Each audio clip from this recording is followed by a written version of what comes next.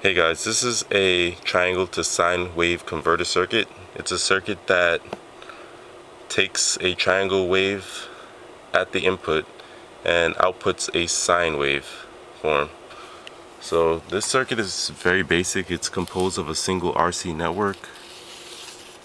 The resistor value that we're using is a 1.5 k ohm resistor and the capacitor value is a 10 nanofarad capacitor and for the frequency of the input signal we're using just about 100 kHz so right now you can see on the oscilloscope a sine wave. This is because the oscilloscope probe is at the output. So now I'm going to retrace back so that you can see the waveform at the input. So the function generator is on triangle waveform mode.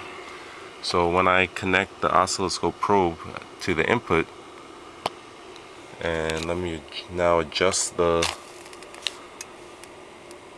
waveform you see a triangle waveform and this is at the input. Now if I move the oscilloscope probe so that it's at the output and again I adjust the waveform. Now you see a sine wave at the output.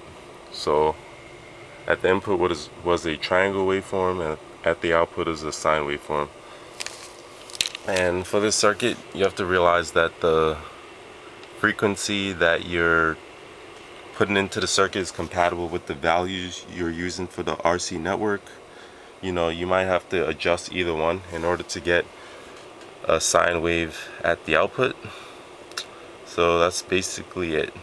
To see the schematic of this circuit as well as a more in detail explanation of how it works please click the link below and thanks for watching